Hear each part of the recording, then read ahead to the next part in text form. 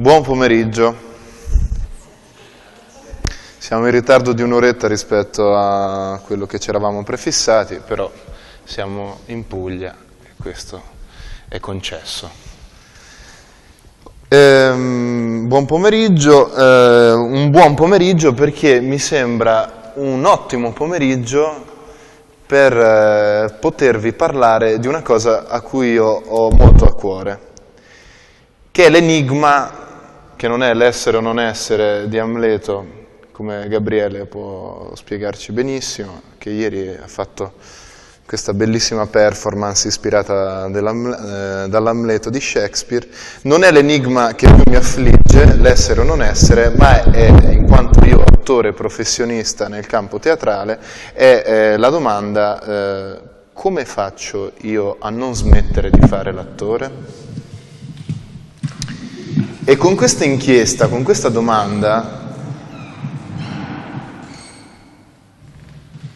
è nata un po' eh, l'esigenza di, di, incontrarsi in questo laboratorio.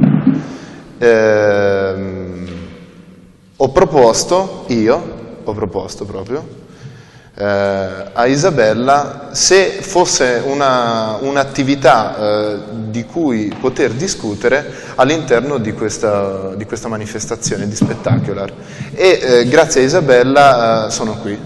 Eh, lei ha accolto questa mia, mh, questa mia domanda e oggi in qualche modo cercherò, insieme anche a voi, eh, di rispondere, ma più che altro di accogliere una vostra risposta, perché in questo momento stiamo agendo un laboratorio aperto.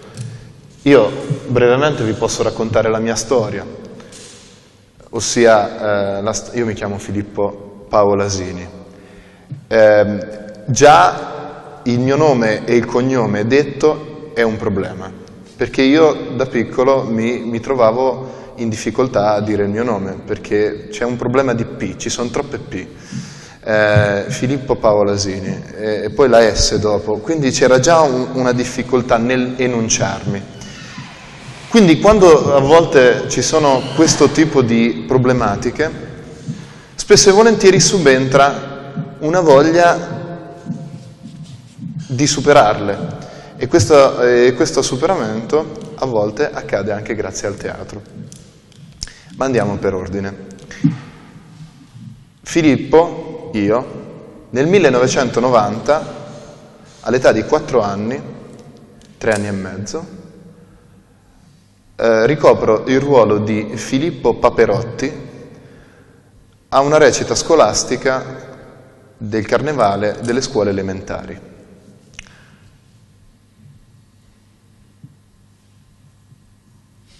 Ho un ricordo vivissimo di quell'esperienza, tanto che quel tipo di esperienza, quell'esperienza nella fattispecie, è filmata. Per qualche strano motivo io ho il filmino di quella recita e c'è il filmato, oltre di me che faccio questa cosa, di mia madre in prima fila che piange guardando suo figlio alto così con una sorta di... Eh, um, vestito di carta che simboleggia un frac, che a differenza di tutti gli altri bambini che facevano solamente il pesce, cantavo l'aria di Pavarotti. Quindi dopo 20 minuti di spettacolo dove tutti gli altri bambini si esibivano e facevano solo Arrivo io e incomincio a fare Sento sul viso il tuo respiro, ancora me la ricordo benissimo. Primo grande applauso. Continuo, la sapevo veramente tutta, secondo grande applauso, finisco la cosa tutto paonazzo che faccio, un amore così grande, con ste mani, un bambino nano che stava e tutti, eh, e mia madre che piange. Ecco, quell'esperienza io la definisco l'innamoramento. L'attimo supremo in cui l'essere umano, anche se non potevo definirmi cosciente di quello che facevo, ma ero conscio, esprime un'apertura, un grande amore verso qualcosa, che è poi anche l'imbarazzo di mettersi in scena, di farlo, che a volte viene superato nel farlo per qualcun altro, in quel caso c'era mia madre, e anche altre persone, parenti, amici. Poi a un certo punto ci si dimentica, o meglio, si è bambini, cresci, nel mio caso io abito, nasco in un paesino delle Marche, in provincia di Ancona, si chiama Marzocca di Senigallia, una frazione fa 6.000 abitanti. In questa frazione mio padre è riconosciuto da molti come eh, l'artista della, della, città, cioè colui il quale ha una compagnia di teatro dialettale, eh, colui il quale canta nelle manifestazioni dove si radunano gli amici e io continuo in questa situazione qui a crescere, cene, eh, amici di, dei miei genitori, grandi musicisti, eccetera, eccetera. Però tutto cosa così. Fino a che, continuando a seguire il lavoro itinere della compagnia dialettale di mio padre, arriva il momento delle superiori, l'adolescenza, e, si, e, ritorna il teatro. Ritorna il teatro. E in che, in che specie? In che modalità? Attraverso i musical. E quindi il professore, che poi ha rischiato di farmi bocciare quell'anno dandomi il debito, due mesi prima dell'esibizione di questo musical mi fa ti andrebbe di fare questa cosa. Io avevo deciso di non fare teatro nella mia vita, volevo fare tutt'altro, volevo fare l'infermiere. Il problema è che avevano queste necessità a casa mia, dai fallo, fallo, che poi vai al Teatro della Fenice, che è questo teatro molto bello, a Senigallia, vai, vai, vai, vai. Spinto un po' così, senza imparare a memoria la parte, cantando una cosa farfugliando, facendo finta di saperlo, nel 2002 torno sul palcoscenico facendo Cats, questo musical dei gatti, una roba abbastanza allucinante. Io facevo Gas the Theater Cats, the Theater Cat, che era il gatto anziano, e entravo tipo facendo finta di essere anziano, così accompagnato da una ragazzina che era alta tipo così, io già ero abbastanza grosso. E mi mettono lì con queste orecchiette finte, la calzamaglia, e facevo mi mi mi mi mi però di nuovo quell'applauso, quella situazione lì. E io questa cosa qui la uh, descrivo come reinnamoramento o riavvicinamento.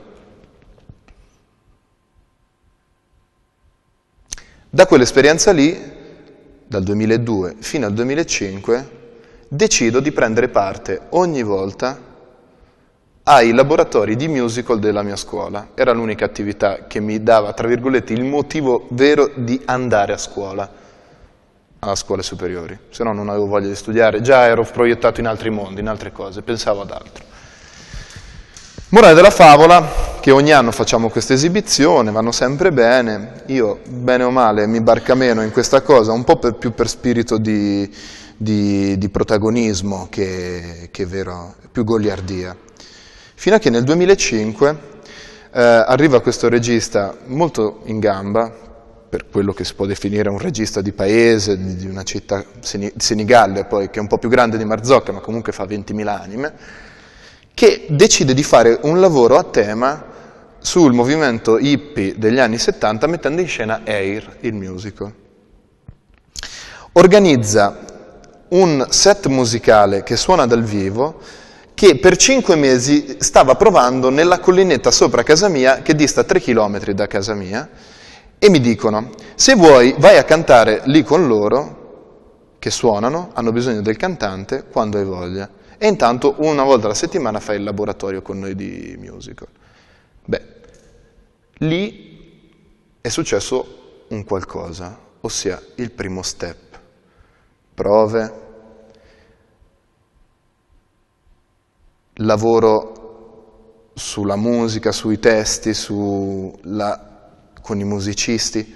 Cioè io praticamente mi ricordo che a 18 anni prendevo la mia Vespa, andavo in questa collinetta dove stava questa associazione, queste persone adulte, e fino a luna di sera, nonostante io andassi a scuola ancora, si provavano e io stavo lì e, e c'era questo meccanismo che piano piano mi stava corrodendo da dentro. Cioè, avveniva questa situazione in cui io piano piano mi lasciavo trasportare da una serie di eventi per essere propedeutici alla scena. Ma io lì non me ne potevo rendere conto, nel senso che lo fai più che altro per un trasporto, perché poi i ragazzi fumavano, quindi stavi lì, avevi 18 anni, la musica anni 70, io capelli lunghi, loro molto più grandi di me, sai, sognavi già di essere più grande della tua età. Involontariamente arriviamo alla data della messa in scena, lo spettacolo va benissimo, incredibile, nonostante problemi tecnici. E c'è un momento molto particolare di quel 5 maggio del 2005, ossia dopo la quarta volta che siamo usciti e preso gli applausi, dalla regia accendono la sala. Ecco, immaginate un ragazzo di 18 anni che non aveva voglia assolutamente di andare a fare l'università, di lavorare, che credeva molto in quello che aveva fatto in quel percorso di anno lavorativo per andare in scena, vedersi una platea gradinata, quindi è ben diverso rispetto alle platee normali, una platea ingradinata di 700 persone completamente esaltate da quello che avevano visto, in piedi, che applaudono e ti acclamano come se avessero visto la, come, come, se fosse il gol all'ultimo minuto in una partita in cui ti stai giocando il derby. Un'emozione fortissima. Quella onda d'urto, quell'onda d'urto è stato il momento in cui io personalmente ho deciso di, ok, questo è il punto da cui devi partire per riuscire a capire se nella tua vita potrai andare avanti nel percorso teatrale, dal punto di vista attoriale. Presa questa emozione, come tutti, te la metti in tasca e durante l'estate ti prepari per i laboratori, per i provini. Faccio i provini, non ne passo neanche uno, ve la faccio un po' breve. Riesco ad entrare in una scuola privata di Milano, due anni di laboratorio. Durante uno, uno di questi due anni, alla metà del primo, eh, cioè dopo il primo, per, prima di iniziare il secondo, arrivo, cioè arrivo alle ultimissime fasi del Teatro Stabile di Torino. Non passo quella cosa lì, però ero a Milano, ormai volevo stare lì, non importa. L'anno dopo, finito questo percorso, mi ritrovo di nuovo, che faccio? Avevo 21 anni, dove vai?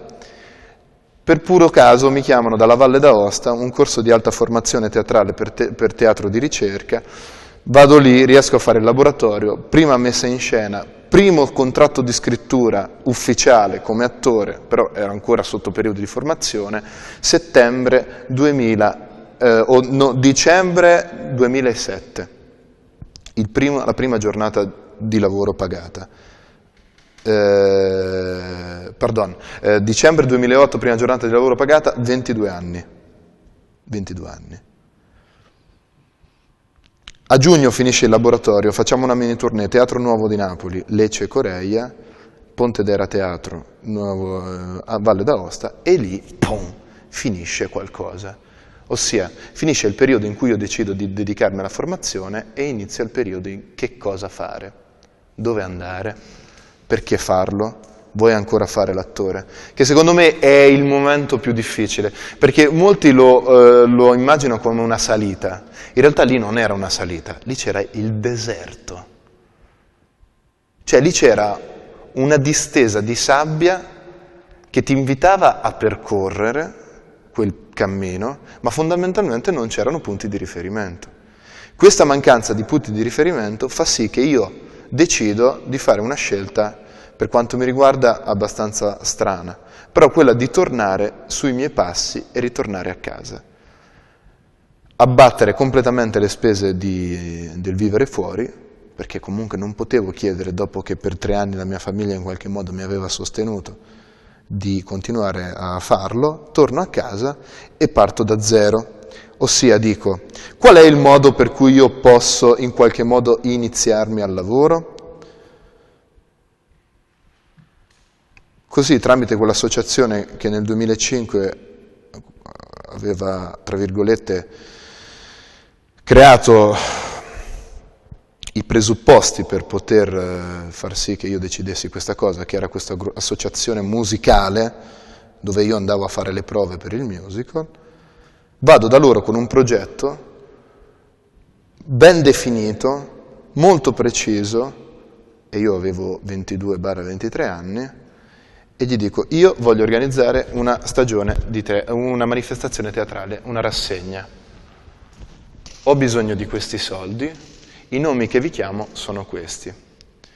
Con una serie di sforzi inenarrabili riesco nel 2009, in estate, 30 luglio, 1 e 2 agosto, a chiamare Roberto Magnani del Teatro delle Albe, con un fortuitissimo caso, nel senso che il tecnico delle albe si fa male, Marco Martinelli deve venire a fare le luci dello spettacolo di Roberto Magnani Odisea e in un parcheggio a Marzocca, io ho questa immagine di, eh, di Martinelli con i scooter che gli giravano attorno e poi la cena con della gente improponibile che sta di fianco a Marco Martinelli che gli parla di Pierluigi Ghina, personaggi tutti allucinanti, e Marco che alla fine, io lo guardo un po' spaesato, mi dice no dai, mi sono trovato molto bene, vai avanti. Teatro delle Albe sto parlando, per chi non sa chi... Teatro delle Albe. L'1 agosto Roberto Corradino, con cui poi nascerà una partecipazione lavorativa, e 2 agosto Roberto Latini. In tre giorni vengono tre maestri, per quanto mi riguarda, del teatro a cui io tenevo moltissimo, a casa mia, ospitati a casa mia, con mia madre e mio padre che fanno da mangiare per loro, organizzando anche una, una sorta di laboratorio condotto da Roberto Corradino con dieci iscritti, tutto da solo. Quella cosa lì, poi nel tempo, ha portato i suoi frutti. Però non bastava, nel senso che la prima cosa era andata. Allora l'anno dopo decido di alzare ancora di più il livello del progetto e nasce da parte mia, spalleggiato da questa associazione che ormai non ne poteva più di me, aveva capito che io avevo altre mire e volevo cercare di portare il teatro in un'associazione musicale dove le cose più interessanti erano legate alla musica, decido di alzare il tiro e proporre un progetto da 30.000 euro in cui c'è di mezzo la costruzione di uno spazio musicale, uno cinematografico e la realizzazione di due rassegne teatrali. Da questi 30.000 euro, per una serie di vari motivi, ne riusciamo ad avere 20.000, un incremento del 100% rispetto a quello che, che aveva avuto fino a quel momento l'associazione.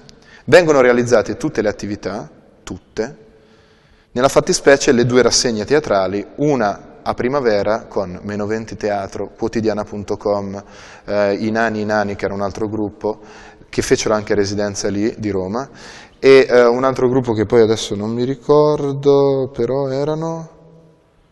No, erano tre, loro tre. Ah sì, Eric Sogno, che è un caro amico, nonché assistente alla drammaturgia di Antonio Tarantino, che presentava un suo testo.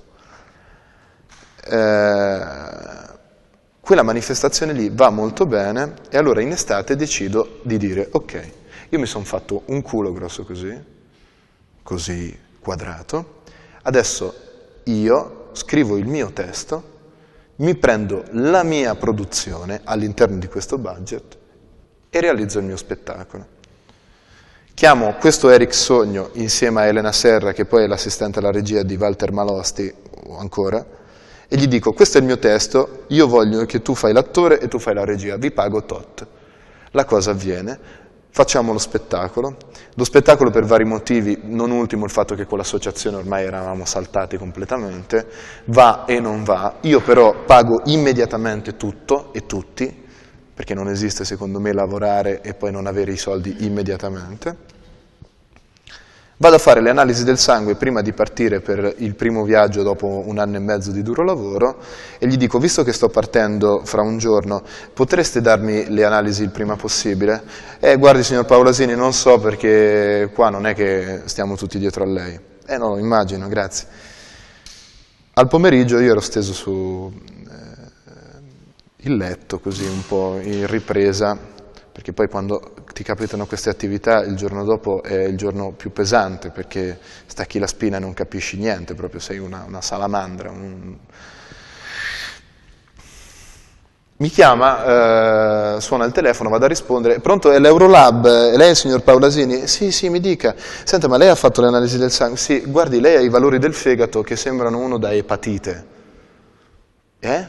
No, qua ci sono le transaminasi a palla. Io avevo 24 anni, e lì decisi che in qualche modo la mia vita doveva cambiare.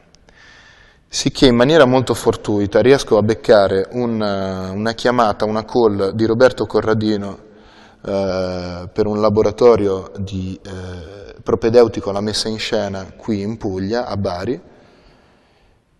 Vado e lì incontro Gabriele. Inizio questo laboratorio, scopro che già c'era stato un laboratorio, questo laboratorio aveva praticamente già delineato un po' il cast e io mi ritrovo un po' così, esterna alla cosa, per una serie di fortuiti casi che non vi sto neanche a spiegare, non ultimo un'illuminazione avvenuta l'ultimo giorno a disposizione, riesco a fare una cosa per cui io entro in questo spettacolo. Nasce l'esperienza di cuore come un tamburo nella notte, spettacolo che... Eh, abbiamo fatto in vari posti, non ultimo a Roma, basta, al Piccini abbiamo fatto una, è stata una, e lì, e lì è stata l'esperienza, diciamo, prima vera esperienza da attore scritturato, con tutti i pro e i contro, che non vi sto neanche a spiegare, che ce ne sarebbe da discutere, un altro spettacolo insieme. Da quella situazione lì, e vi racconto questo aneddoto, esce un fatto. Io avevo appena iniziato le prove di un altro spettacolo che, eh, con Tonio Di Nitto, Romeo e Giulietta, torno dalla prima residenza, ero in pigiama a casa mia a Bari, sempre post lavori, quindi sei sempre stravolto, mi chiama Licia la Nera, o mi manda un messaggio, non mi ricordo, su Facebook, e mi dice, uè, guaglia, ma lo sai che si è segnalato eh, come miglior under 30 due nomination ai premi Ubu? Io, no. Eh, eh, va a vedere. Vado a vedere e effettivamente succede questa cosa. Ecco, l'immagine in una fredda giornata, eh, perché poi di solito sono adesso le nomination, io in pigiama completamente avulso da tutto questo, scopri che tutto quel lavoro ti è valso questo, che poi non vale niente, però mi, ricordo questa immagine di io che, capavo, che pulivo i fagiolini in casa a Bari così. E queste sono altre esperienze, altri quadri, immagini, che portano avanti la voglia di dire, ok, forse è il caso di continuare. Continui, continui, continui e poi lì nasce la voglia di fare degli investimenti. Questi investimenti passano attraverso però la scelta di dove andare a vivere, nel senso che a un certo punto un attore alle prime armi come me decide non ho casa, o meglio la mia casa è nelle Marche, nelle Marche io non conosco nessuno, avevo incominciato a collaborare e poi è diventata una collaborazione ormai attiva con eh, in teatro Polverigi, che è una realtà stabile di teatro di innovazione, con cui faccio più che altro teatro ragazzi, però non c'era motivo di rimanere a casa, tanto più che comunque credevo di aver bruciato, e ancora penso di aver bruciato tante mie possibilità là per via di un impegno troppo elevato a una giovane età senza aver coscienza di tutto questo. E quindi nasce una domanda, in Puglia non voglio più rimanere, dove vado? E incomincia la fase girovaga, nomade, che è un po' la cosa che mi contraddistingue anche adesso. Io, ossia, nel 2011 decido di andare a vivere per una serie di vari motivi in Toscana, inizio una collaborazione con il Teatro Sotterraneo e, e in più nasce con uno ex attore del Teatro Sotterraneo, Jacopo Braca, l'intesa di fare uno spettacolo che è stato realizzato poi di recente a Zoom, che è un festival a Scandicci, da Giancarlo Cauteruccio un anno di vita a Firenze, tutto quello che, con, che comporta, e adesso mi ritrovo di nuovo punto e a capo, cioè scegliere di nuovo dove andare a vivere. Ho cercato brevemente di raccontare la, la mia storia, intanto perché ogni tanto mi diverto a, a ricordarmi chi sono. E, e poi per cercare di spiegare che cosa? Che dal 1990 che c'è stato l'innamoramento, 2001 che c'è stato il rinnamoramento, 2005 che c'è stata la fase della chiarificazione del voler fare qualcosa a livello teatrale, diventare formarmi in qualche modo, dal 2006-2008 la formazione, 2008-2010-11, una fase di come iniziare a entrare nella professione 2011, 2012, 2013 che sta in un processo di eh, creazione e produzione attiva, cioè io sto lavorando con due compagnie in questo periodo, più da freelance o comunque in progetti nuovi, futuri, con altre due. La, la sesta fase, settima fase anzi, se non sbaglio con i conti, che è la fase che mi interessa adesso, che mi chiamo Filippo Pavolasini, ho 27 anni, sono di Senigallia, ma ho vissuto a Milano, in Valle d'Aosta, in Toscana, eh, Bologna, eh, Bari, Lecce, in Puglia, che ho girato e dormito almeno una volta in tutte le regioni, è come posso continuare, anzi, come posso non smettere? Ed è nata una parola in quest'ultimo periodo, per scherzo, e questa parola era monetizzazione. La parola monetizzazione. E la domanda è come può un attore utilizzare questa parola in un campo dove, da quello che è sembrato oggi o anche ieri, sì, dal punto di vista organizzativo ci sono tante possibilità per poter monetizzare, ma io non voglio stare dietro un computer a scrivere bandi, non me lo posso permettere, perché sennò divento un programmatore, un organizzatore. Ma come attore, come posso utilizzare questa parola?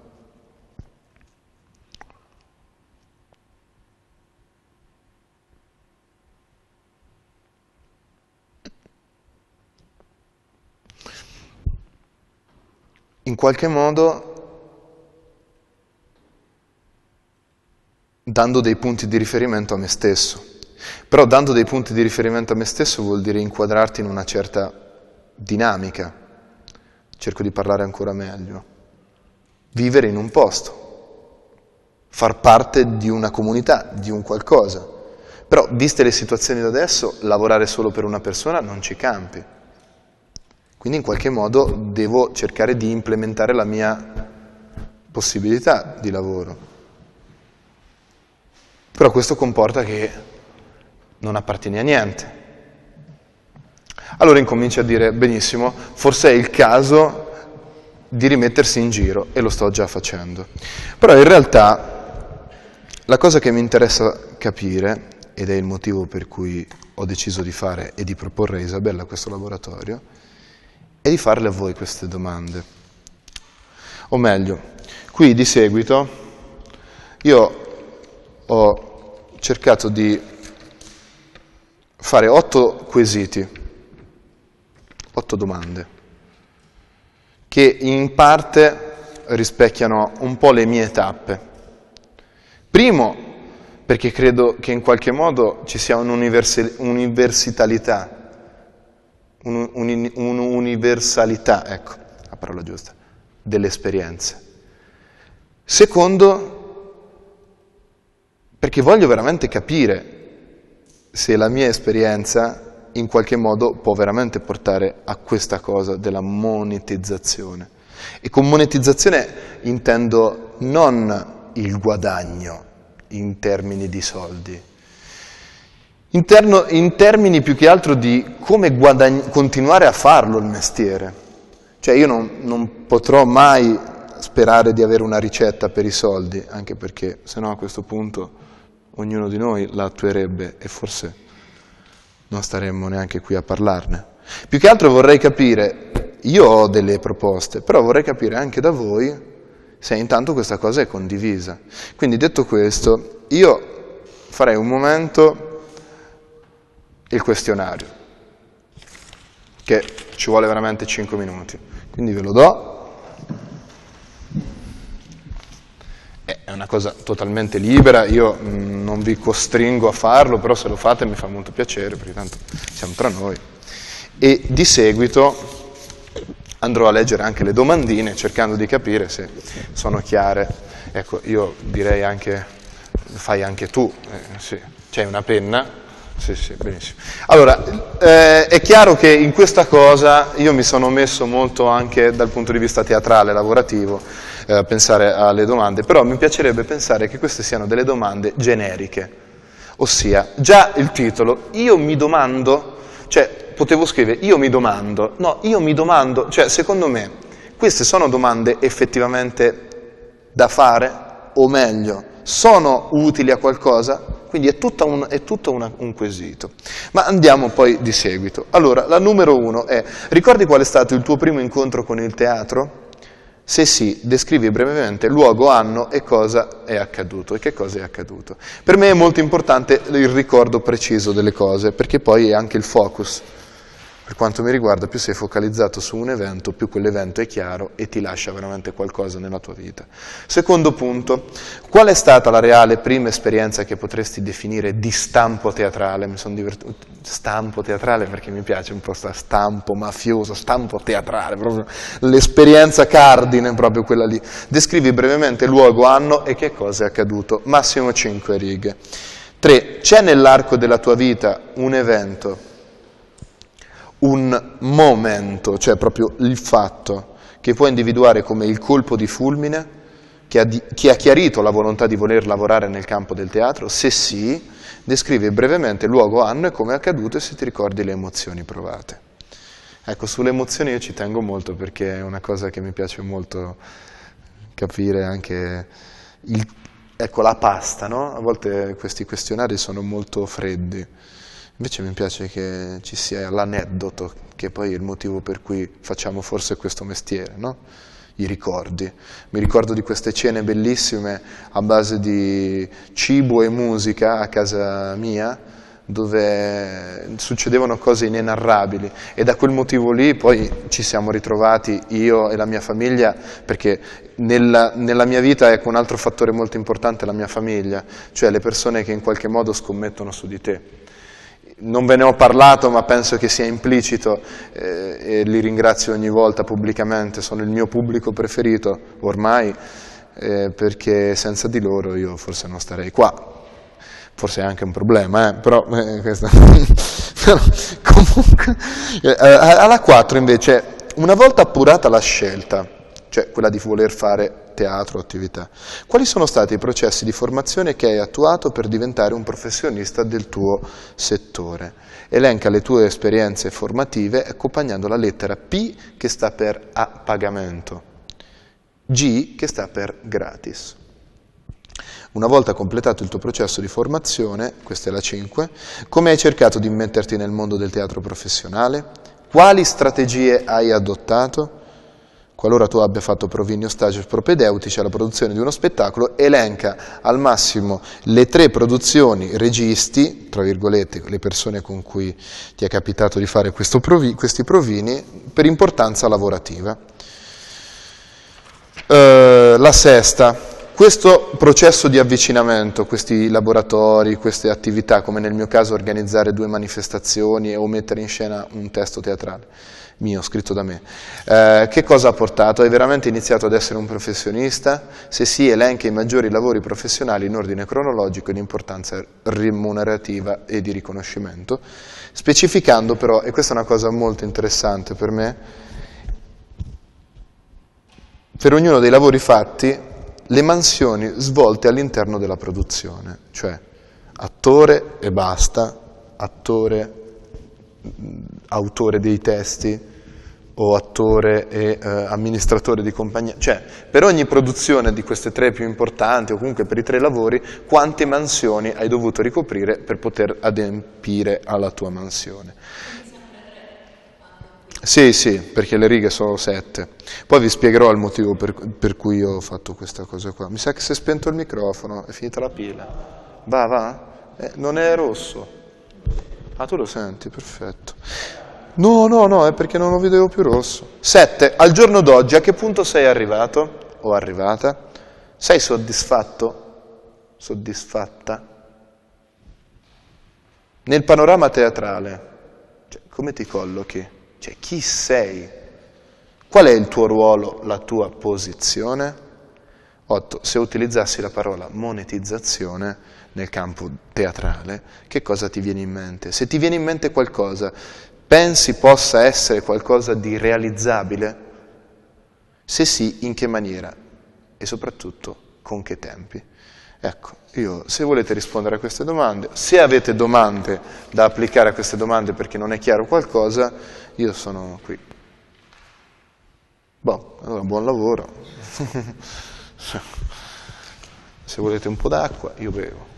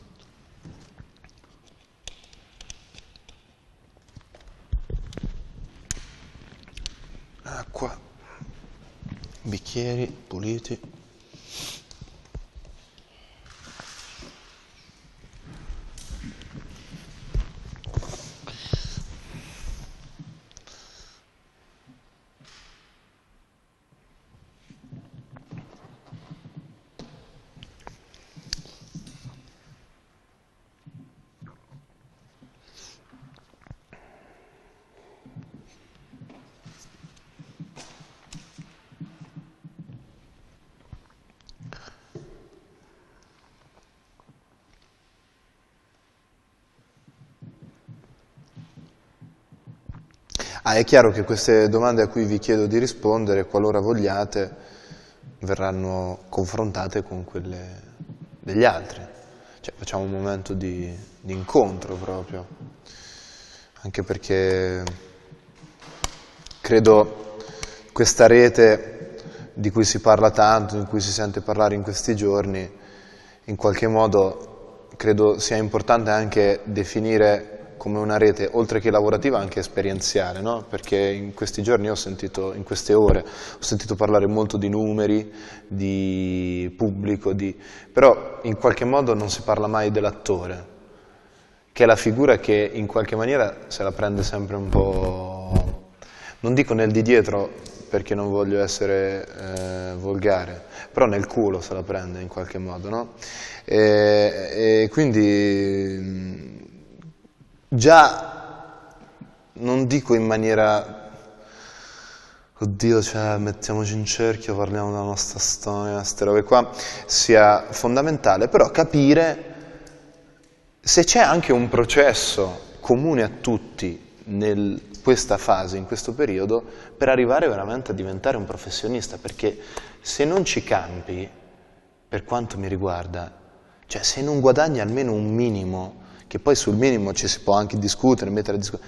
Per me non sei un attore, non sei un artista, sei uno che in qualche modo viene aiutato da qualche altra persona per esserlo.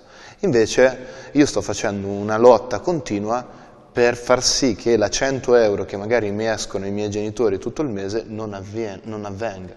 Perché finché io per quanto comunque eh, ho già chiesto da un paio d'anni il sussidio di disoccupazione che poi hanno tolto, eh, ma questo è un altro discorso, quindi le giornate lavorative ci potrebbero anche stare per definirmi un professionista. Se io non ho quella 100 euro, io non riesco ad arrivare in qualche modo alla fine, pur essendo un attore che non è mai sceso a compromessi e che ha sempre cercato di lavorare in progetti che interessavano in primis a me perché anche questo è un altro aspetto importante.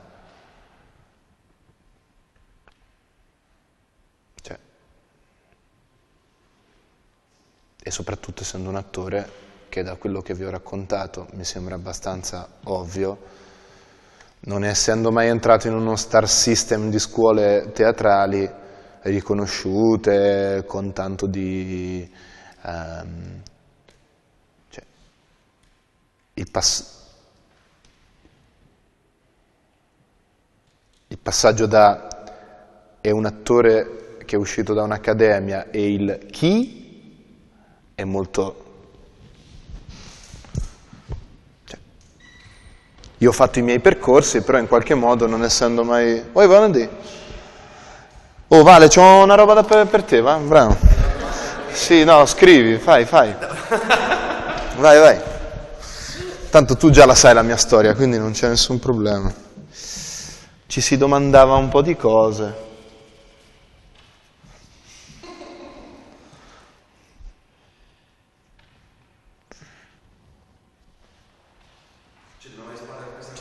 Sì. Cioè, no, se non te va, no. È libero.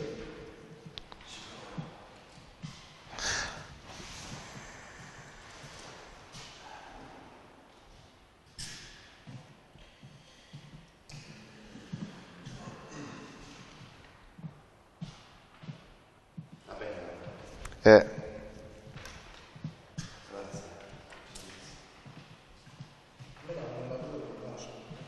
Eh, infatti, infatti quando le avevo scritte, poi dopo per una questione di prolissità mia, perché chiedevo un rigore nel- nell'essere brevi, avevo fatto delle domande più lunghe della risposta, quindi non mi sembrava una cosa... Se combaciano, avevo scritto infatti allunga l'aneddoto. L'hai fatto? Eh, allunga l'aneddoto della prima. Ma fai bene, anche perché dopo che l'incontro con eh, Mangolini, stringi, devi stringere, sintetizza.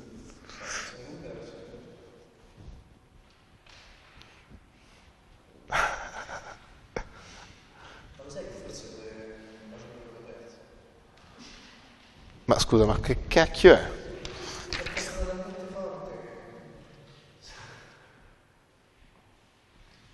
C'è sta, c'è sta. No, in qualche modo mi, sono divertito a creare un mio processo e a cercarlo di ri- riproporlo in queste domande. Mi sono fatto universale. Ma. A tutte? Meglio. Ma se togli la parola teatro e metti quella musicale? No, certo, è chiaro. Meglio di no. Allora scusa, visto che loro stanno scrivendo, no? Io mi, mi viene da farti una domanda, cioè secondo te, almeno nell'ultima, è, è- è, è possibile...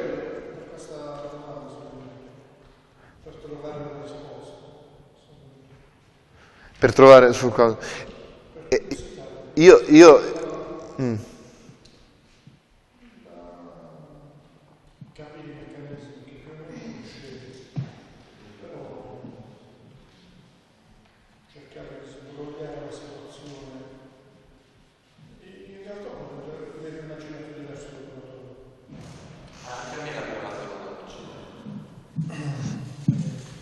Pensavo fosse anche un, momento di eh, implosione o esplosione di qualche idea, di qualche produzione, di qualcosa. Qui Eh, francese.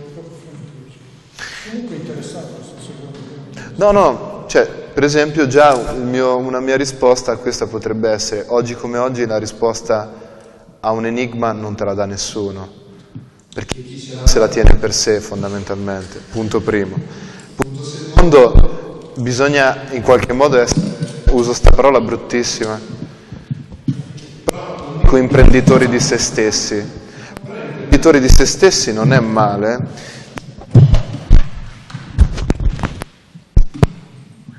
Beh, cioè, imprenditori di se stessi vuol dire in qualche modo eh, cioè, trovare già da te una soluzione. Faccio un esempio stupidissimo. Quando a un certo punto io quest'anno, a settembre, mi sono ritrovato che dopo aver in un anno realizzato sei, sei produzioni, sei, tra le più piccole e le più grandi, ma ero sempre un po' il punto a capo. Un giorno a Torino, ero a Torino, vedo un negozio bellissimo, Scavino, non so se conosci, però è uno dei negozi musicali del settentrione più belli in assoluto, e mi viene una gran voglia di entrare dentro e provare una chitarra. Io suono un po' la chitarra. Beh, ho visto una chitarra, una Yamaha acustica, e mi è nata un'illuminazione. E mi sono detto, perché io poi sono un po' così, cioè se io veramente non riesco a fare cultura, non dico teatro in Italia, però se a, a, aumento la cosa e dico se io in qualche modo non riesco a vivere del lavoro che io voglio fare, che è un lavoro del tutto culturale o artistico, io mi compro una chitarra, parto dalla Puglia, eh, parto dalla Sicilia, faccio tutto un percorso a piedi e arrivo in Piemonte quest'estate e voglio vedere se avvicinandomi io, io in primis alle persone, come la gente mi guarda, come la gente reagisce a questa cosa, come la gente in qualche modo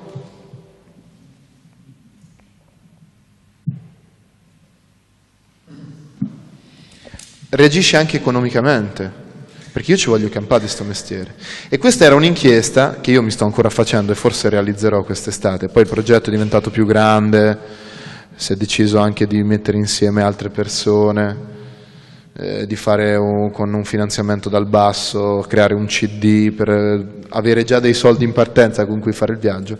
Però se io non riesco alla fine di quest'estate a capire se effettivamente questo mestiere è possibile, io in qualche modo me ne devo andare. Cioè, chiedo alla mia famiglia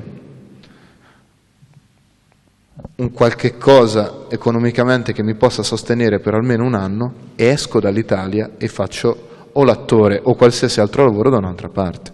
Quindi questa è una soluzione. Però io ho 27 anni, a me non me ne frega niente, non ho niente che mi leghi più che altro a qualche posto, se non eh, i ricordi, le cose, l'emotività. Però mi sono detto, se non sono io il primo a trovare un modo vero e autonomo, autonomo, perché questa è una cosa importante, cioè se tu non sei autonomo, tu certi mestieri, soprattutto quello artistico, oggi secondo me in qualche modo non lo puoi fare. Perché qua si richiede una lucidità che parte dalle 8 di mattina quando ti devi svegliare per fare il training, perché poi il training lo devi fare alla mattina, perché se no non puoi fare l'artista per quanto mi riguarda, a mezzanotte quando vai a letto stremato ed hai fatto progettazione, prove se stai in prova, organizzazione se devi organizzare l'evento per cui la gente deve venire a vedere perché magari non sei una compagnia importante, non ti conosce nessuno, quindi su Facebook, inviti, eccetera, eccetera. E in più magari avrai anche da fare una telefonata perché c'è qualcuno che ti vuole bene, che ti vuole sentire. Devi mangiare, se hai una casa devi curare, cioè, però tu lo devi fare. E ti giuro che se tu la fai sta cosa, tu sfondi, sfondi io non ce la sto facendo in questo momento, quindi forse non ha neanche valore la mia presenza qua. Però dico che in mente ce l'ho la cosa e il giorno in cui fisicamente e mentalmente sarò pronto a farlo, forse questo sarà il primo inizio di quel discorso della monetizzazione, perché ormai ti si chiede questo, una presenza e un rigore che a tratti è, cioè, è fastidioso perché dici con tutto questo impegno c'è qualcun altro che guadagna 7-8 mila euro al mese. E invece stiamo a parlare di cifre che manca un impiegato al comune che fa le fotocopie. Io sono abbastanza rigoroso, cioè sarà la mia poca esperienza forse. Ecco. Vabbè, come stiamo messi con... Eh, oh, bravo Valentino. Sì. No, ma infatti, eh, eh, no, questa è una cosa importante. Cioè, tu non leggi e se è un problema questo non è colpa mia. Ce ne sono massimo tre, Valentino. Tre. Se ne hai fatti due, ne scrivi due. Se ne hai fatti quattro, ne scrivi tre.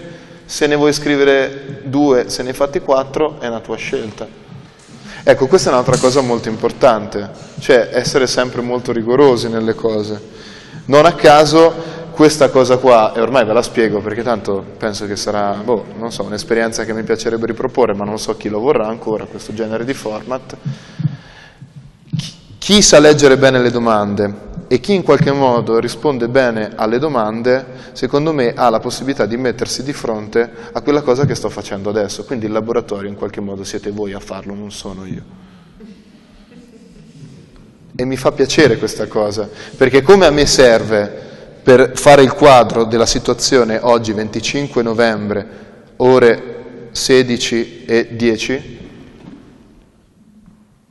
16 e 4, 4 e 4, fantastico, ritorna sempre questa cosa. Ogni è un periodo che continua a vedere sempre i numeri uguali, è una cosa fantastica. Forse è il momento giusto proprio questo. Certo. E dove dici le tue esperienze formative accompagnando la lettera P, pagamento G gratis, cioè le esperienze per le quali tu hai pagato? Sì, sì. Cioè, ad esempio, io i primi due anni a Milano ho fatto questa scuola privata che costava 1800 euro l'anno ed è stata una cosa a pagamento, che io ho dovuto pagare. Mentre invece due anni dopo, quando sono stato in Valle d'Aosta, ho fatto questo percorso di formazione molto interessante, mm, eh, così era tutto gratuito perché finanziato da, da un, pro- da un progetto FSE.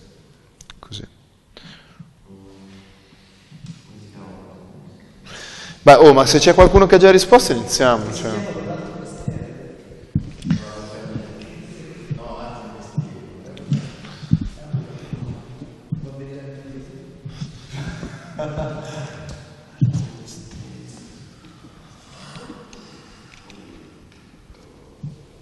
Te suoni il pianoforte, vero? La tromba. Comunque ho fatto sei anni di Kismet. Suonando o come attore? Ho fatto di tutto. Però con Kismet suonavo, facevo il fonco. Poi ho fatto scenografo, macchinista. E vedi, per esempio, anche questa cosa qua, questa cosa qua, Via Amicis. Ho fatto Belle Bestie, uno spettacolo. La regia della tavola. Quindi lo lascio stare. Ci siamo passati da Lino Cavolo? No, no, non mi ricordo. Perché mi sembra di averti visto, ma lo collego a quello. Cioè, Ho passato sto con Cordiale, con Vincenzo. Vincenzo, ecco lo t'ho visto. Un Probabile. percorso insieme. Che sono... Ok, eh, niente, sì, te lo dovevo chiedere, ora mi hai ricordato. cioè, mi ha facciato conosciuta. Vedi, anche questa cosa qua secondo me è una cosa molto importante, cioè riconoscere che cosa hai fatto all'interno di un processo di produzione, in questo caso di spettacolo, per capire anche la gente come ti vede poi. Perché è inutile che noi ci proiettiamo sempre in un'immagine legata alla nostra inquadratura, cioè alla nostra soggettiva. Cioè se noi non riconosciamo che per fare questo mestiere, un po' per necessità, un po' per nostra svogliatezza, facciamo 150 mansioni, in qualche modo la gente poi si abitua e o ti richiede sempre quella cosa lì e tu cresci e non hai più voglia di farlo, o in qualche modo dici vabbè ma tanto quello lì fa 350 cose, non ha bisogno di essere chiamato. Quindi a un certo punto tu devi essere anche molto settoriale, ma non nello scegliere che tipo di quali- qualità fare. Alla fine dove ci stanno più soldi uno dovrebbe, si lascia sempre tentare.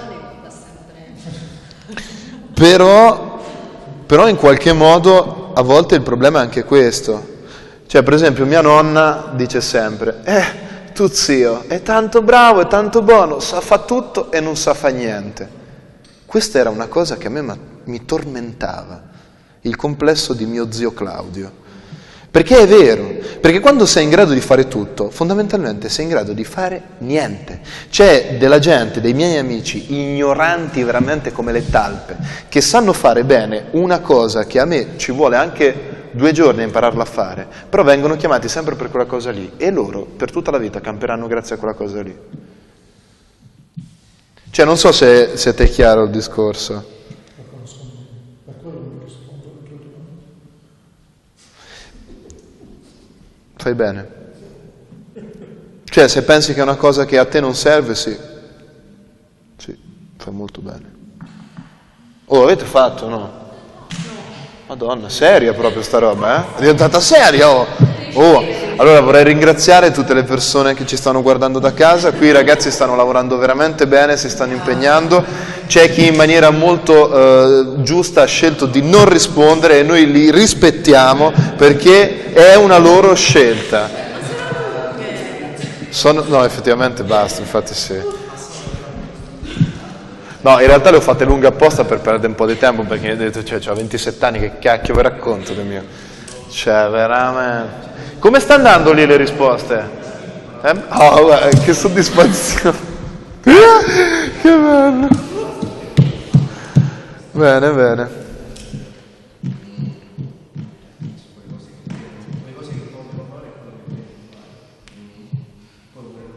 Poi, poi in tutto questo ci sarà una cosa molto carina che è la sorpresa poi del post lettura. Sì, sì. Molto carina, vediamo se riusciamo a farla perché non voglio rubare. Ci sei tu dopo, no? Eh. No, io penso che faremo molto presto adesso. Tu sei cinico nella vita, lo sai? Ti vedo molto cinico. Poi i capelli oggi. Yes. Poi queste cose ti prego, conservale perché in futuro un giorno me lo dirai. Ti ringrazio perché quel 25 non ti viene. No, no, eh, cioè, l'ultima cosa è cambiare mestiere. Ma è una risposta. Sì, però non me lo dici subito perché sennò mi rovini tutto il resto. Però ho sbagliato a utilizzare questa parola, no vabbè, ve lo voglio sapere dopo, mi piace per monetizzare, me l'ha detto Eric, che è questo mio carissimo amico, eh, assistente, vi dicevo, di Tarantino, mi fa, allora, io ho un figlio da portare avanti, la mia moglie, la mia compagna che mi ha, mi ha lasciato, adesso io ho in testa solo una cosa, la parola monetizzare. Ah, Eric non sta più con eh, Elena. Eh sì? Sì, ma non mi fa fa ste gossip così. Cioè io veramente, Valentino, ma com'è che con te si va sempre a finire su ste storie? Vogliamo parlare un po' di te? Eh? Vogliamo parlare un po' di te in streaming? Bene, dai, a sto punto io direi di iniziare, perché così non togliamo... Sì. Chi inizia?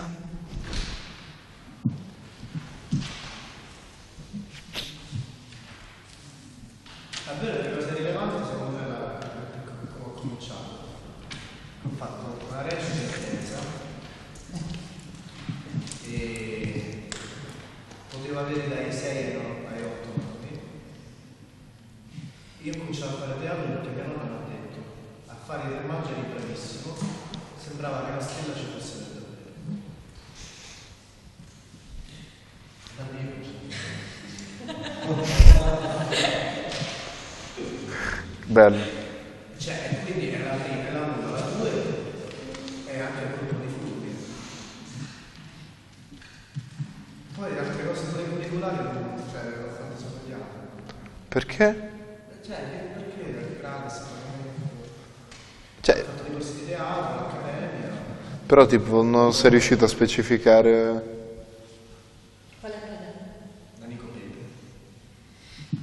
Quella è stata gratis. Sì, pagavo, cioè, i pagavo 300 euro all'anno. È qualcosa che hai fatto a pagamento? Ho fatto dei laboratori, questi sono dei laboratori che ho fatto a Binasca, a Madante, nella speranza che poi li prendessero a lavorare. E riesci a metterli in ordine cronologico? Madante e Binasca. Di importanza e di impegno No, eh, infatti l'importanza è e Madante. per te nella formazione? Sì, per, il- per quello che mi serviva a me sicuramente. E poi, ah, anzi, eh, sono stato contento di poter dare la stessa risposta alla domanda 7. Che è, a che punto sei arrivato? Sei soddisfatto? Il panorama teatrale come ricordi? Qual è il tuo ruolo, la tua funzione? E la mia risposta è non lo so. Cioè non lo sai proprio, eh? Ok. E per quanto riguarda la 6? Cioè, dai, Con chi ho lavorato? Cosa ho fatto? no, c'è una risposta, no? Ah, che cosa mi ha portato? Ah, iniziato veramente sempre così. Cioè nel senso, dopo la Nico Pepe, dopo Binasco, dopo Emma Dante, Sì, sì, ero prontissimo. eri prontissimo e questa cosa ti ha portato a fare, lavorare con? Lavorare con il bandiere, con la mia compagnia e con, con Ravino. E in ordine di importanza come le metteresti?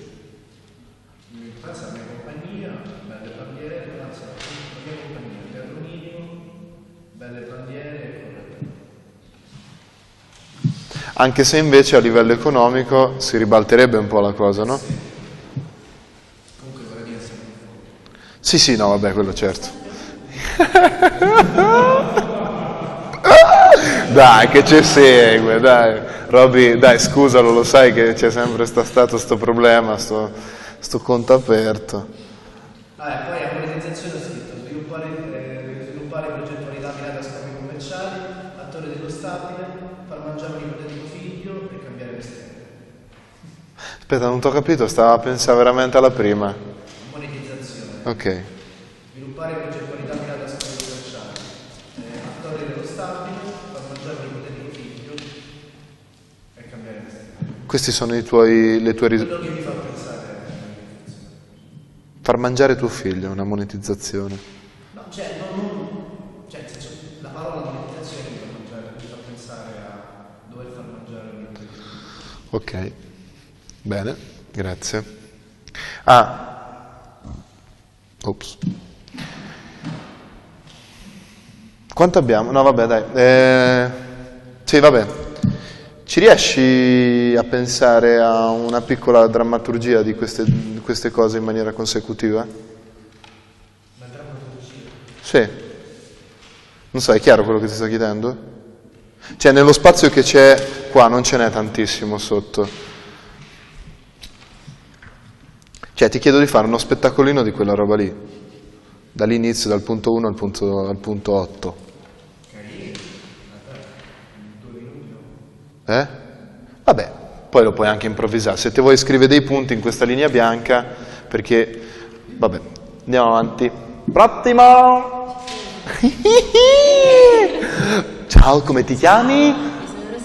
Ciao Rosanna, adesso possiamo andare alla risposta numero 1.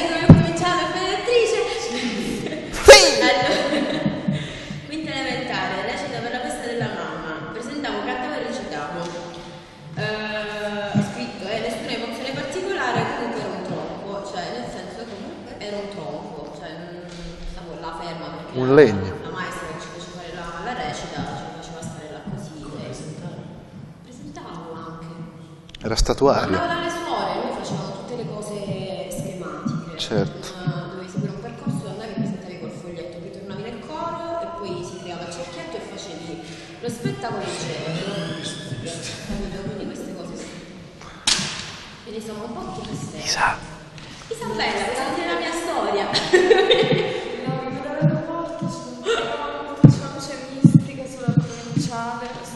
Vai. Buonasera.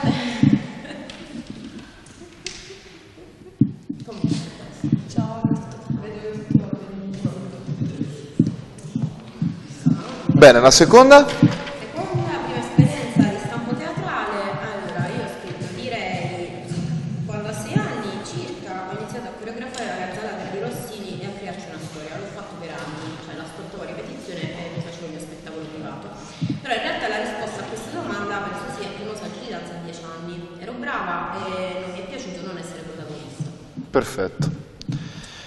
Il colpo di fulmine, ovvero la terza. Ecco. Attenzione, eh. Credo intorno ai 18 anni ero totalmente asociale ho cominciato a interpretare barzellette ai 4-5 amici che avevo. Ridevano di questa cosa, mi piaceva, ho deciso di fare l'attrice. Ottimo. È vero, eh? No, allora, vai, vai, vai, vai. Sì, sì, no, vai, vai avanti. La quarta adesso. Questa è la cosa. Cioè, io sono interessatissimo. Vai, vai. Quarta.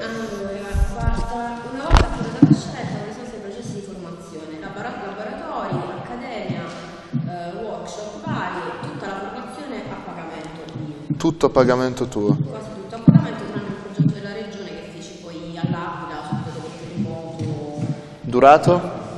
eh, dieci giorni però non mi ricordo neanche chi era il regista sinceramente che curava questa cosa Quella è stata l'unica cosa gratis che hai fatto gratis anzi parzialmente retribuita c'è un rimborso nella tua formazione.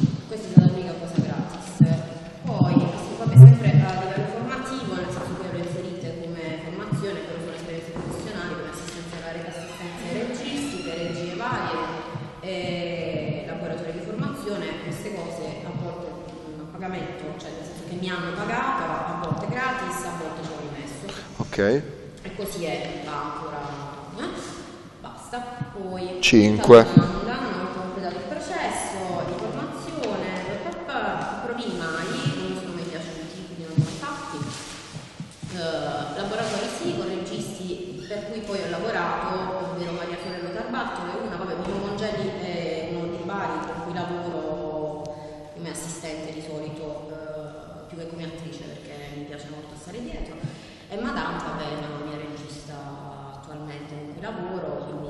riuscita a metterle in ordine? percorso, sì, Maria Sole e Madame e Mongeli vanno insieme, quindi sono attualmente in corso. Ok.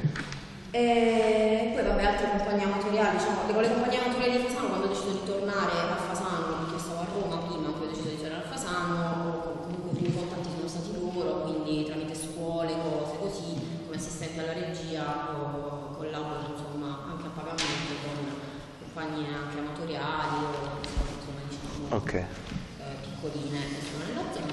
Basta. Sei riuscita a stare sempre nelle, nelle righe richieste? Sì, Grande. Tutte tranne... Quella sei andata fuori però? no, erano sette però, 1, 2, 3, 4, 5, 6 e 7, non sono andata dietro, le ho sempre. Grande, brava. Te fai veramente, guarda, non te fa parlare. Questa domanda. No, diciamo.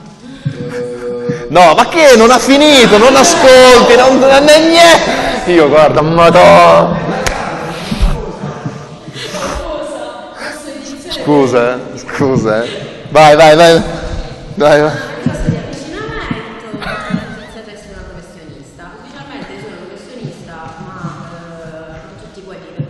Versano i contributi e mi fanno contratti, quindi non lo so.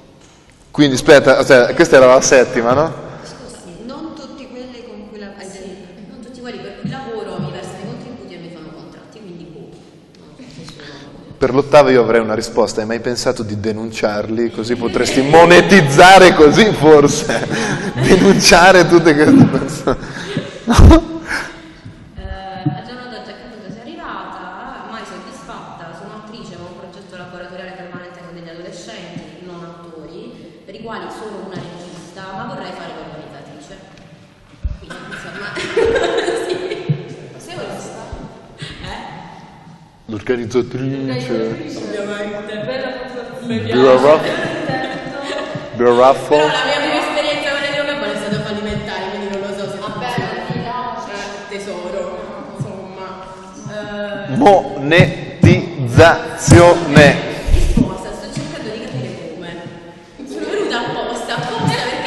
vogliono tutte le risposte da sto, da sto spettacular. eh. Qua cercano tutti... Spectacular. Il laboratorio cerca... Strong. Bene.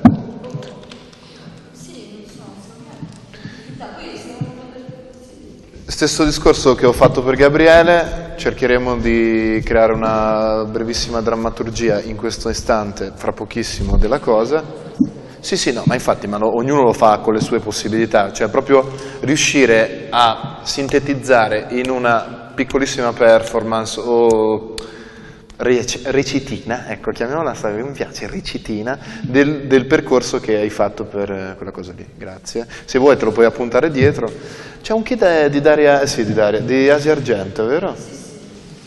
C'è un po' il taglio, l'occhio così. Prossimo, chi tocca? Valandè?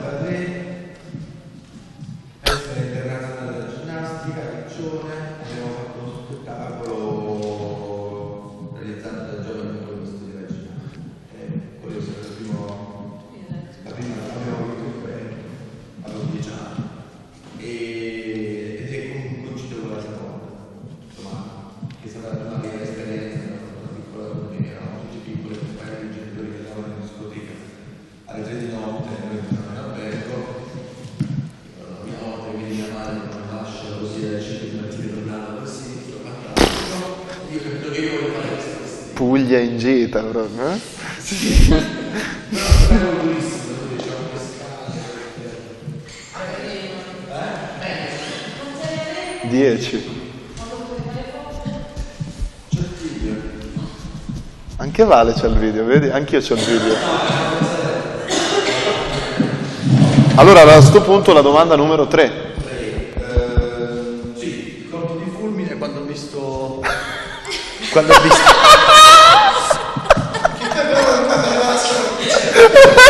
Ma non si sente, ma veramente devo parlare così. E...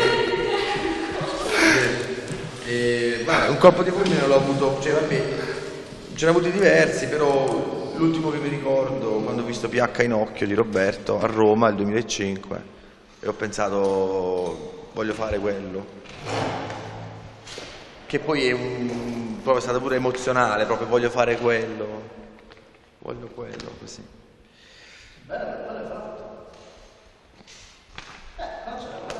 Sì, con Roberto, sì.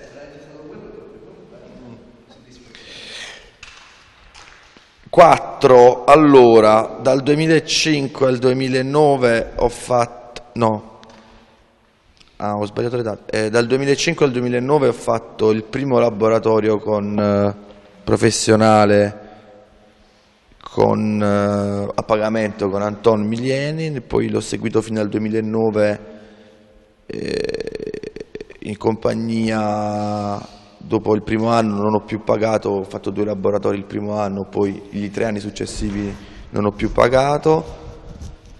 Dal 2009 al 2011 ho lavorato sempre con esperienze formative, anche lì i primi laboratori, i primi due li ho pagati, gli i successivi no, perché poi siamo entrati in una sorta di produzione con Jean-Paul Denison. Precedentemente ho fatto, si sa, i laboratori con eh, altri insegnanti che X e Y. E poi le esperienze in situazione, cioè la formazione diciamo anche da tecnico non l'ho pagata, l'ho fatta direttamente sul campo e così uguale la- il resto.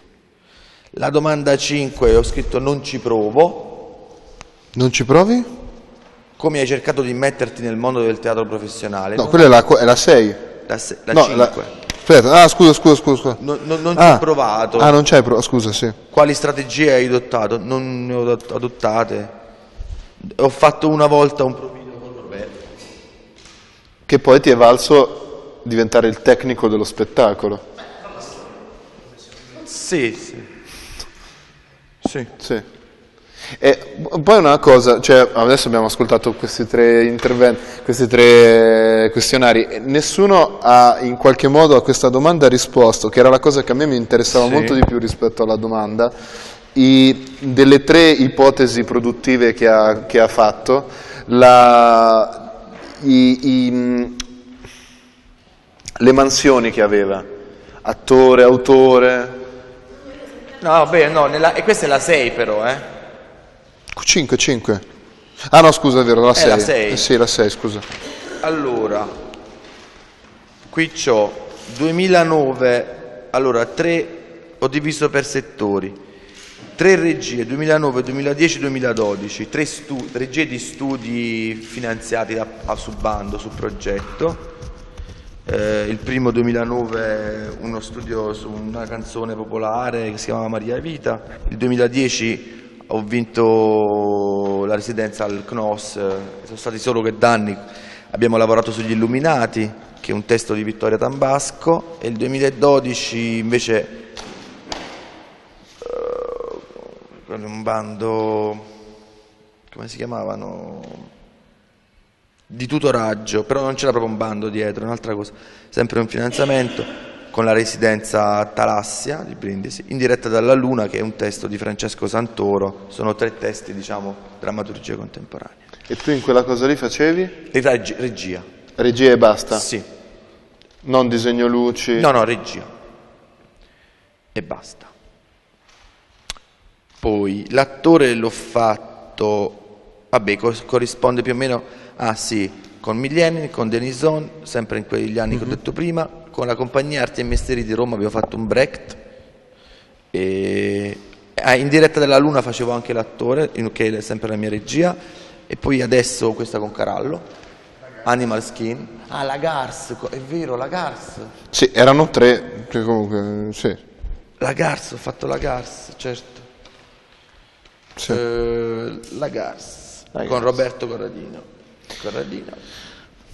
La Gars. E il danzatore con Carallo. Poi ho fatto la responsabilità tecnica negli ultimi anno e mezzo di cuore del, del, eh, Festival Castel dei Mondi al Kismet, il disegno luci per eh, Vico Quarto Mazzini e mm, basta. Eh, Ti manca solo di costruire un teatro a sto punto. eh sì, il prossimo progetto.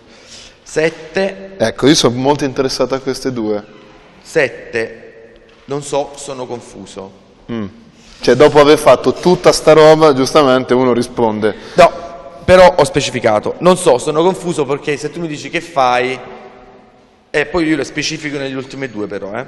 Ok. Allora, non so sono confuso, non capisco cosa si intende con panorama teatrale, non lo conosco, al di là delle residenze in Puglia.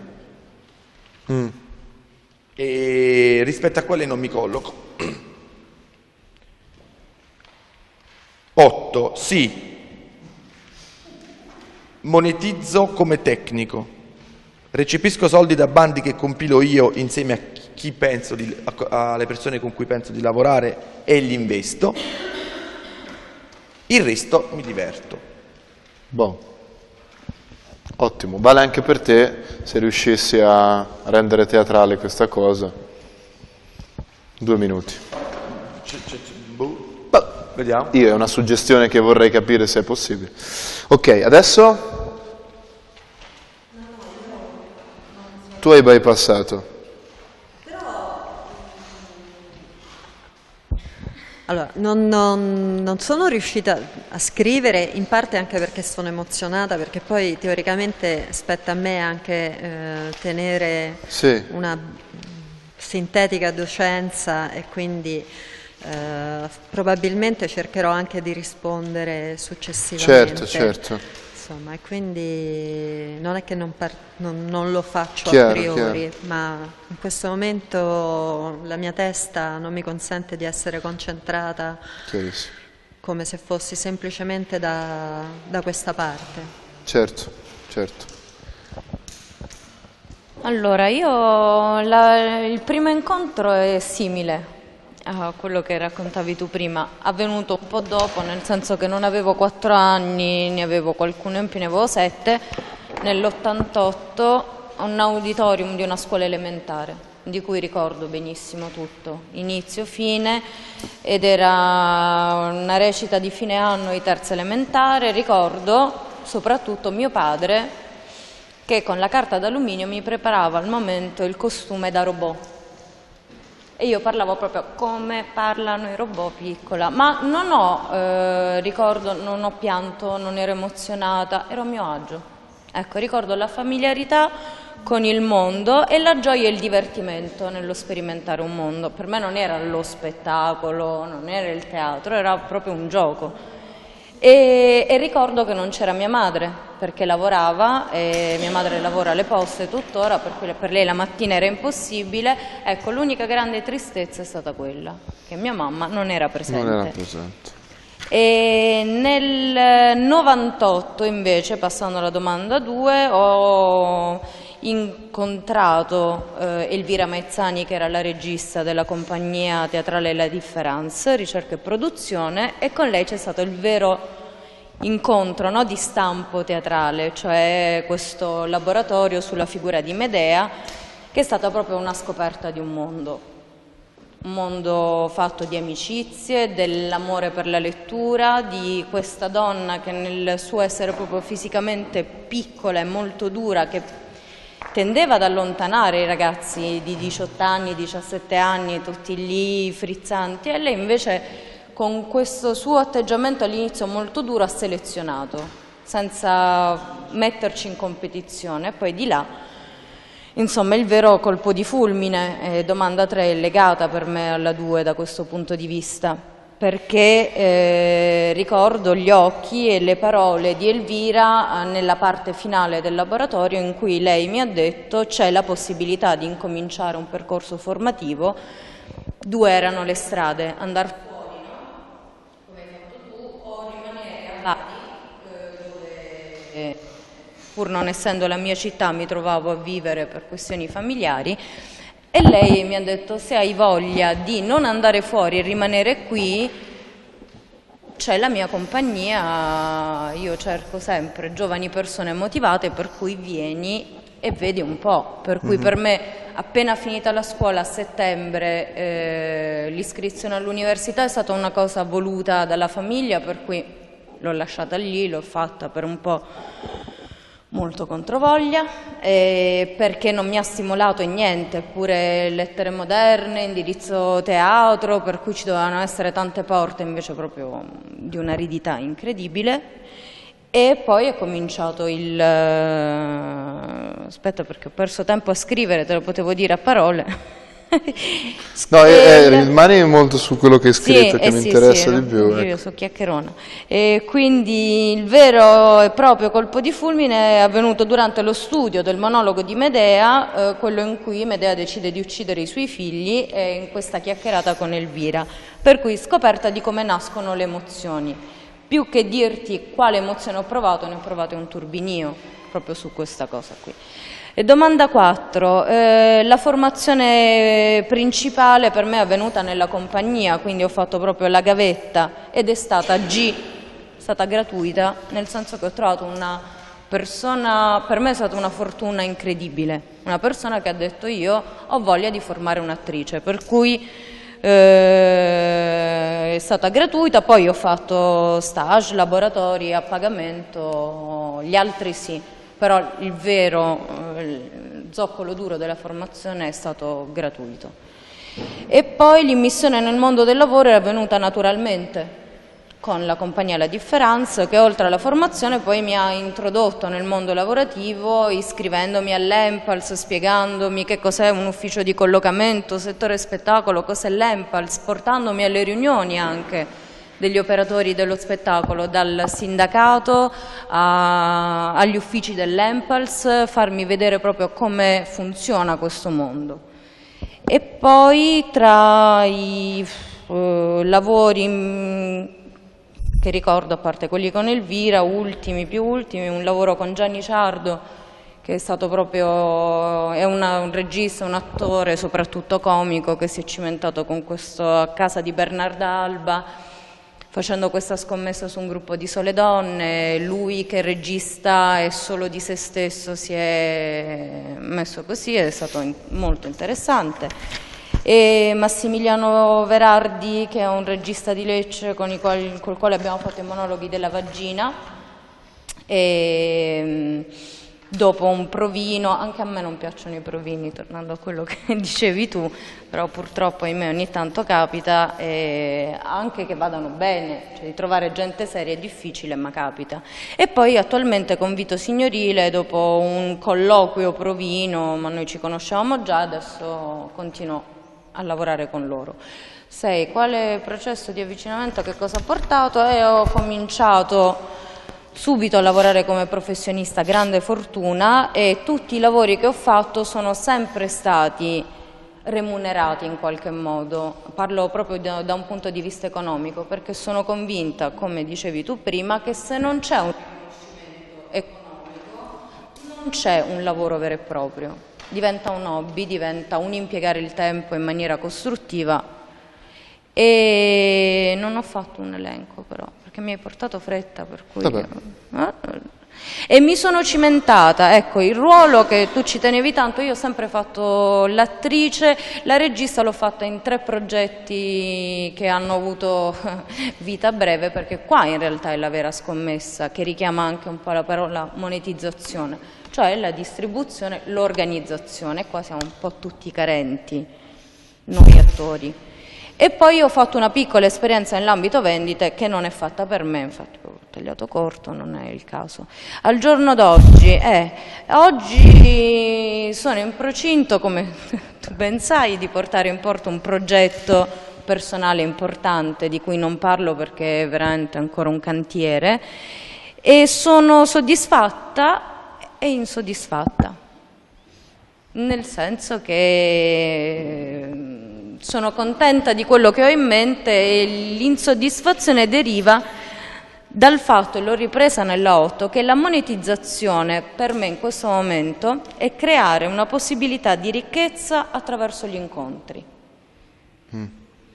È un po' di tempo che io dico, secondo me, invece di essere isole, eh, noi siamo personaggi, animali, chi più, chi meno istrionici, no? Sicuramente eh, Valentino che è scomparso è un personaggio, io non lo conosco, però è entrato e richiama l'attenzione dell'attore, è un po' così, poi ci sono persone un po' più eh, timide, introverse, però fondamentalmente siamo dei personaggi, ma siamo isole e quindi che cosa ci può aiutare? Metterci in relazione e quindi può essere realizzata la monetizzazione anche se con molte difficoltà, cioè bisogna essere aperti, per come la vedo io, a dare un pezzo di sé e non arroccarsi dietro. No, per me si fa così e così, ma all'ascolto, che è una cosa di cui c'è bisogno eh, e con tanta caparbietà si può monetizzare.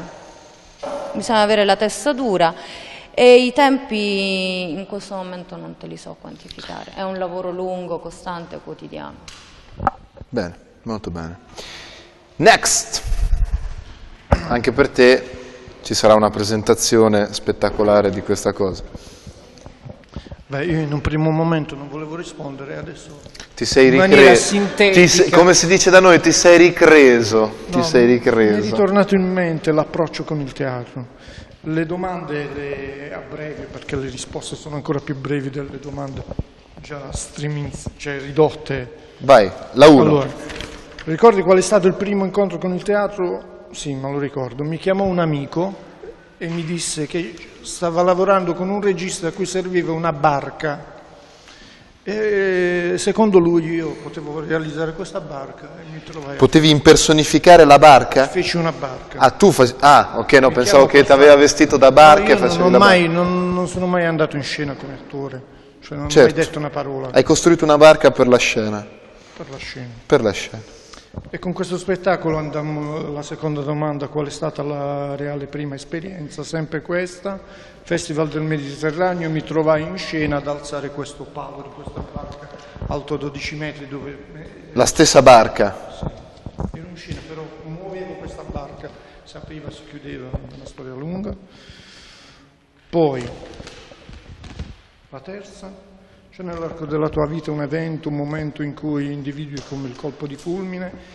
Sì, sempre questo spettacolo malefico. La barca. Però non è stato lo spettacolo in sé, ma il pre-spettacolo, Ah. cioè il laboratorio fatto nel manicomio di Biceglie, Ah. che era aperto anche ai disabili, quindi c'erano emozioni continue di questa gente che partecipava con noi nelle danze, bellissimo. Quarta domanda, una volta appurata la scelta, i processi formati... Ah, il problema è che non ho scelto, quindi mi sono trovato in mezzo a questa barca che il teatro. La famosa barca. L'unico laboratorio che ho pagato è stato a, Sant'Arcangelo col Kismet, il primo, Ah. che cercavano, cioè andai così per sempre laboratori, mi spingevano a fare... Ed è stato l'unico che poi mi ha portato a fare la tournée di, di sei anni Kismet, quindi ho più guadagnato che speso, perché è stato l'unico laboratorio pagato. Ottimo. E poi ho speso per la musica altri laboratori di Perché sei un musicista. di jazz con Paolo cose. Eh, Questo processo di avvicinamento che cosa ti ha portato ad una vita bizzarra? Per il resto non so che altro dire. Al giorno d'oggi cosa pensi? eh, la settima, al giorno d'oggi a che punto sei arrivato? Sto per partire, ho preparato il passaporto. così. Ok, ottimo. E l'ultima, allora, se utilizzi la parola monetizzazione nel campo teatrale, vabbè, però, che cosa ti viene in mente? Mi viene in mente di fare l'ennesima magia e questa volta ci sono riuscito. Cerco solo un produttore che investa su di me. C'è da fare soldi per tutti, solo che da solo non ci riuscirò. Cerchi un produttore. certo. Col produttore tu riusciresti a monetizzare. Ok. Bene, allora a questo punto mancano Isabella e tu come ti chiami? Il tecnico? Non è riuscito a finire, ha scritto anche... Certo, anche lui. Martini non ha preso, eh. Tu Isa, te la senti di leggerci? No, a me fa piacere, cioè a noi fa piacere. Abbiamo anche un microfono. Sarò molto sintetica, Bene. io sono molto absolute beginners eh, in, in qualche senso, quindi cioè, non ho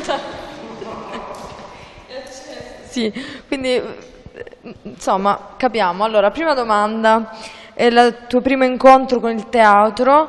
Allora, io ho questa immagine di me vestita con un vestito blu con le stelline dorate, la bacchetta magica in mano dell'88, credo. La recita della scuola. Ottimo. Cioè, dove teatro io l'ho preso da- dalla recita della scuola, non so se vogliamo parlare di teatro. Guarda, io ci ho scritto Vai. 1990, carnevale, festa per le famiglie, ok. scuole elementari. No, io ho questa la bacchetta, però non ho questo ricordo di me che facevo, questa, che facevo la recita, ho il ricordo della, della foto, cioè di- che ogni tanto mi capitava di rivedere questa immagine che mi piaceva molto, ricordo più quello. Poi Certo. ovviamente l'ho persa questa foto, non ho idea adesso dove sia. Poi, la prima esperienza che potresti definire di stampo teatrale, non ho risposto perché intendiamo teatro vero così o sempre ambito recite, cazzate. Cazzate anche. Cazza- allora, per se- parliamo, qui siamo nel 92, Grande. 92, mio nonno è ancora vivo, eravamo in campagna, io or- organizzavo, cioè mettevo in modo fasci- fascista, Fascista. io, mia sorella e i miei cugini a fare lo spettacolo. Allora dove mia cugina faceva la fotomodella perché era più magra e faceva, cioè varietà era ovviamente. Cioè faceva la sfilata, poi facevamo le imitazioni di tutti quelli della contrada, eravamo bravissimi io e mia cugina. Io ero la presentatrice, eh, costringiamo gli adulti a venirci a vedere, insomma questo. Io Chiaro. ho un ricordo grandissimo, cioè molto... fi- Mm? Tipo, però in campagna, capì? Con la facciata della campagna, cioè praticamente la nostra scenografia era campagna quelle tipiche, rosse, quelle della Puglia, Il no? giardino degli ulivi, no? Eh, sì, No, quello dei tipo ciliegi, quella- eh, Però c'è il neon, mio padre risparmio aveva già messo il neon, quindi... Frankie? Sì, Frankie al risparmio, esatto! Era ne- Poi avevamo, in pratica un baule con un sacco di pezzi e quindi ci facevamo, vabbè forse sono ricordi comuni a tutti, non dico niente di speciale, però ci No. facevamo i vestiti il pomeriggio e io mi ricordo, c'ho la foto di questo vestito che era aperto e c'era uno spacco che partiva di qua a qua, insomma mutande. Mutande. Ero in pre-pubertà, quindi cioè, immaginate i mostri che c'erano in giro. Allora, poi era un evento, un momento, poi il colpo di fulmine. Allora, io mi ricordo esattamente, 99, Castrovillari, il festival, quando facevamo il festival, ecco lì, Motus. Andammo a vedere questo spettacolo. Sì, andammo a vedere questo spettacolo dei Motus, che era Orlando Furioso, tipo. 99, luogo, anno, come è accaduto, degli amici andavano e io andai con loro, andammo tipo in sei in macchina da Taranto a Castrovillari, era l'epoca delle macchinate, si fece la macchinata per andare a vedere uno spettacolo, non mi è mai più successo. L'emozione, ero felice, non so bene descriverla, però è una sensazione di forse riconoscimento di alcune cose, poi avevo 17 anni, vedevo questi con i capelli, capito, cioè i motus, eh, yeah, abbiamo i capelli platinati, cioè per me era fighissima, yeah, così. Poi una, una volta appurata la scelta, eh, io ho fatto l'università e parallelamente ho fatto i laboratori, tutti quasi a pagamento, laboratori annuali o laboratori workshop, Michele Di Stefano 2003, tutto molto pagato, perché poi non ho, non ho mai pensato ad una... Sì, sì, perché non ho mai pensato a una formazione di quelle, ok, formazione, bando, lettera di motivazione, selezioniamo 10 persone per un percorso spesato a regione X. No, perché non mi sono mai sentita, né avevo il tempo né mi sentivo in grado di farlo. Cioè, mando il mio curriculum, cioè, che, che gli devo dire, motivazione di che? Quindi pagato. Fino a quando? Niente, tutto pagato. Formazione nel mondo del teatro è professionale, diciamo che ho fatto questo mio progetto primo Irina Production e poi è professionale, è significato un anno fa, un anno fa quindi absolute, abbastanza absolute, ehm, eh, niente, partecipare al primo scenario, mandare lavoro, chiedere spazio. Eh? Ah sì, è vero, Teatro Magro, ho fatto uno spettacolo. Sì, io non mi ricordo. Sei cazzi di tutti te, ma come? È carino. Questo, provini, sì, ogni tanto fa, ma cioè, non mi prende nessuno, cioè, non, non ci ho mai pensato a fare provini. Ho fatto, la mia iscrizione con l'Empers è avvenuta grazie a un film, ho fatto una piccola parte in un film e quindi finalmente, casualmente sono diventata, ho avuto una matricola Empers, quindi parliamo di monetizzazione goodbye. Però, Però però con Irina io guadagnavo. tu non hai spiegato per niente chi è Irina. Cioè, Vabbè, dillo con Irina, vabbè, lei, cono- lei mi ha dato lavoro, esatto. Irina Mi hanno Production. dato lavoro. Tu come hai iniziato con Irina? Io ho iniziato, tu sei anche mi aiuto. Ho iniziato da un giorno all'altro perché dovevo fare teatro, dovevo iniziare a fare teatro, io devo fare teatro adesso. Cosa- con cosa lo faccio? Con la prima cosa che avevo più o meno sotto mano, che era questo personaggio che avevo fatto già nei miei laboratori qualche anno prima e poi tipo ero a Roma, usciva spesso. A fine serata usciva Irina, per cui ho detto ok, da cosa inizio? Inizio da lì. Cioè ho cercato il primo pretesto perché non potevo aspettare. Cioè iniziato a vedere a Roma la categoria registi, categoria spettacoli, cioè categoria teatri di Roma, ma mi faceva cioè dicevo dov'è che vado io lì? Non mi piace questo mondo, anche le formazioni quelle non- quindi ho detto ok io inizio quindi ho iniziato a fare questa Irina e per riempire un'ora di spettacolo ho pensato di fare questa varietà in cui Irina era la presentatrice e in video andavano le ospiti di Irina, quindi di questa varietà, quindi ho iniziato a fare video con me vestita in altro modo, facendo altri personaggi che- e quindi lo spettacolo era quello. Monetizzavi. Monetizzavo. Ed è stata una strategia per iniziare a fare teatro. Sì, è stata la molla che ok lo faccio con difficoltà, spesso lo spettacolo faceva schifo, eh, non, ero non sapevo niente di... di- però... Ma arci, situazioni, Tutto a club, nero. così arrivavo... Tutto a nero? Tutto a nero, se mi pagavano il viaggio mi davano 100 euro da sola, monetizzavo, non è che ero ricca, però Guadagnavi più da cioè, adesso. era la vita che fanno un po' alcuni musicisti che lavorano nell'underground, loro campano e anche hanno anche figli da questo sistema, per cui Sì, è un sì. sistema di sbattimento incredibile, perché comunque non è che hai tutto, però alle volte va quasi meglio perché Perché non c'è... non hai spese, non hai... Non c'hai tasse, non c'hai cose. Sì, non hai... Esatto. Però non è niente, infatti è un ambito che ho mollato perché comunque era diventato pe- diventa pesante, soprattutto quando sei da solo, così, cioè magari arrivi lì, non c'è nessuno e non ti pagano, quello è brutto, magari ti pagano me, alcune persone che non sono serie, ovviamente c'è gente molto seria che non lo fa. Questo processo di avvicinamento sì, hai veramente iniziato ad essere un professionista sì e no, più o meno. Eh, i maggiori lavori professionali in ordine cronologico, suggerimento film, eh, niente, è nel futuro, abbiamo delle buone premesse. Al giorno d'oggi sei arrivato, sei soddisfatto? No, non sono soddisfatta. Nel panorama teatrale ti collochi come una novità, impotenza, che insomma c'è, però impotenza. Qual è il tuo ruolo, la tua posizione? Attrice, regia. Allora, posizione, sì, faccio la regia, scrivo, con molte difficoltà anche questo, insomma.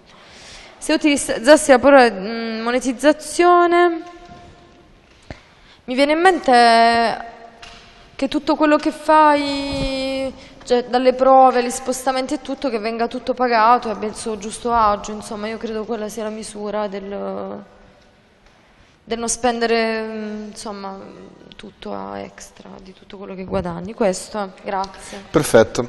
Allora, eh, la- lo step successivo che, avrei, che avevo pensato nella mia testa era quello di teatralizzare questo- questa cosa.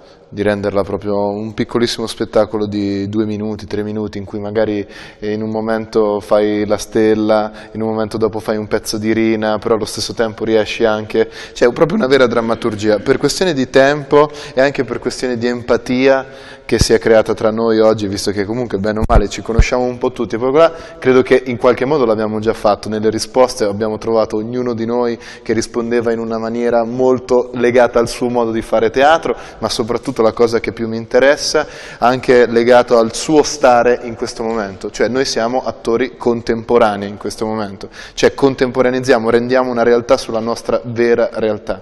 Detto questo io mi sento di rispondere al quesito che in realtà era il tema che non era una domanda, ma io ci metto una, una domanda, un punto, un punto di domanda alla fine, come non smettere di fare l'attore, come abbiamo fatto oggi, conoscendoci, dando una, tra virgolette, chiarezza sul nostro curriculum vitae, confrontando le esperienze fatte e le prospettive con i nostri compagni e sperando che in questo nostro incontro si possa veramente creare quella rete di cui si parlava oggi, di cui si parlava ieri e di cui credo si parlerà anche nei giorni futuri. Io non credo molto nello speed date, perché nello speed date fondamentalmente c'è un, non so, abbiamo utilizzato ieri questa parola, sono questi incontri dove chi ha un progetto, una rilevanza, porta una sua cosa, viene analizzata e viene finanziata se funziona o no. Io conosco un po' le modalità attoriali e anche e soprattutto degli attori. Spesso e volentieri ci sono persone che hanno difficoltà a parlare con facilità dei propri progetti. Mi piacerebbe più, più che altro pensare che, come mi sono messo io oggi, che è un caso forse, a fare il mediatore, eh, ci fosse la possibilità ogni tanto di incontrarsi e di raccontare la propria storia, il proprio stare oggi a fare teatro, a essere attore e magari se tra il modo di porsi di qualcuno trovi qualche affinità, chiedere di incominciare una, una partnership, un, un modo di incontrarsi e da lì magari si inizia a monetizzare. Detto questo io vi ringrazio.